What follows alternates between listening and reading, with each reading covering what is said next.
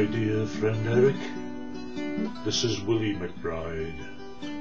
Today I speak to you across the divide of years and of distance, of life and of death. Please let me speak freely with my silent breath. You might think me crazy, you might think me daft. I could have stayed back in Erin where there wasn't a draft. But my parents, they raised me to tell right from wrong. So today I shall answer what you ask in your song. Yes, they beat the drums slowly, they played the fife slowly, played the dead march as they lowered me down.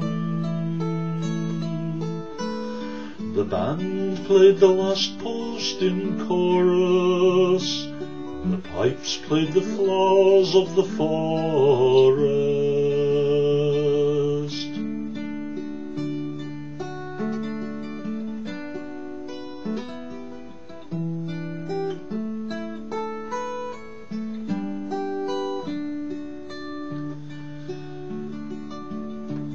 Ask the people of Belgium or Alsace-Lorraine if my life was wasted, if I died in vain. I think they will tell you when all's said and done, they welcomed this boy with his tin hat and gun, and call it ironic that I was cut down while in Dublin my kinfolk were fighting the crown. But in Dublin and Flanders the cause was the same, to resist the oppressor, whatever his name.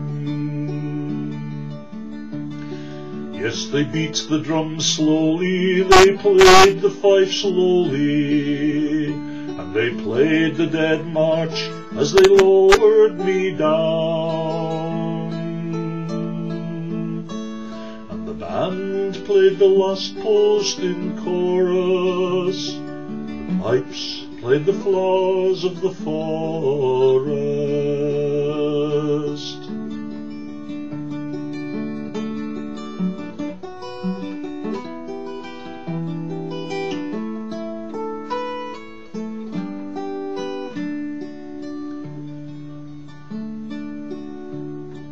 It wasn't for king or for England I died. Wasn't for glory or the empire's pride.